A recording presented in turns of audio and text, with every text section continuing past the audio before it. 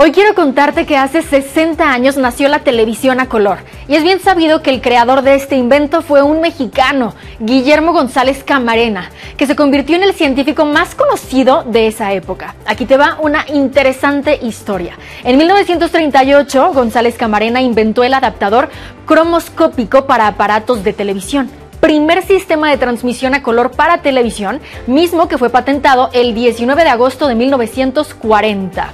El 10 de agosto de 1942, dos años más tarde, ingresó la solicitud de patente en Estados Unidos.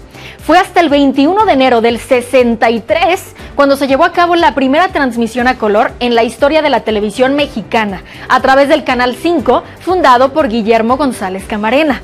La serie Paraíso Infantil fue elegida como el primer programa que se emitió bajo este innovador procedimiento. Guillermo González Camarena, ingeniero mexicano, conocido por ser el inventor de la televisión a color, nació en Guadalajara, México, en 1917. Durante su carrera trabajó en varias empresas de telecomunicaciones en México, en Estados Unidos, antes de establecer su propia compañía, la cual fue muy exitosa. A pesar de su innovación, el sistema de Camarena no fue adoptado a nivel comercial debido a la competencia de otros sistemas de televisión a color en desarrollo en ese momento.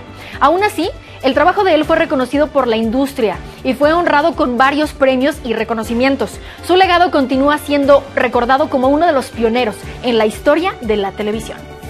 El cantante Tom Higginson participó en un video muy emotivo en el que le cantó Hey There Delilah a una niña llamada Delilah que tiene cáncer.